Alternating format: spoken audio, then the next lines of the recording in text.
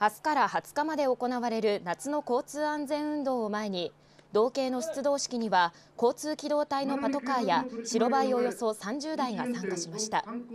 道内の交通事故による死者数は昨日までに58人に上っていて今月に入って特に石狩振興局管内で3日間で3件の死亡事故が相次ぐなど相次ぐなど深刻な状況です。